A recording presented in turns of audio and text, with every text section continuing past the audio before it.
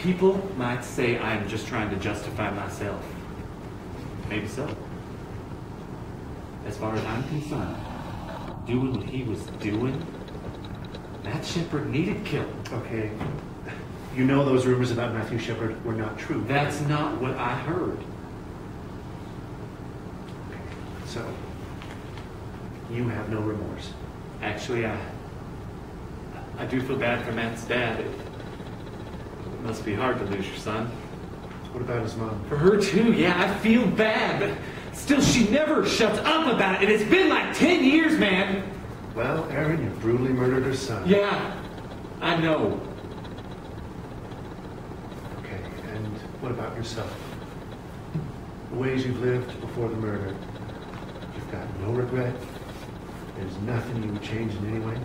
Yeah, all sorts of ways. I was a fucker as a kid. Real fucker.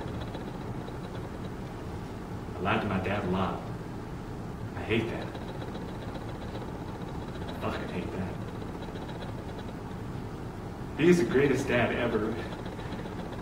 All the trouble, the drugs, if I could change it, I would. I would go to high school, graduate. And what if Father Roger were here with us? Could you look him in the eye and honestly tell him you feel no remorse for Matt? I have to.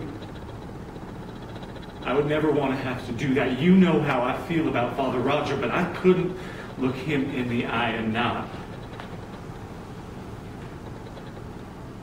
I would have to tell the truth. I do have remorse, but like I said, for all the wrong reasons.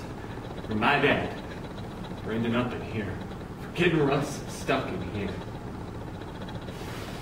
I could go back and not be the one who killed him, I would.